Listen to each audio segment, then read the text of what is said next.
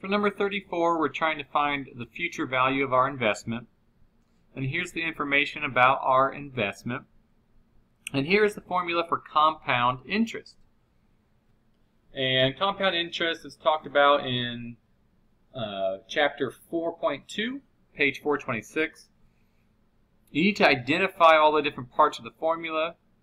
And the part we're trying to figure out is the amount that's going to be in the account, the principal, the amount that's invested was given to us, the interest rate as a decimal was given to us, the number of times per year that we're compounding is given to us, and the total number of years was given to us. So plug all those numbers in where they belong, and then start reducing. So 0.04 divided by 2, and then 8 times 2 equals 16.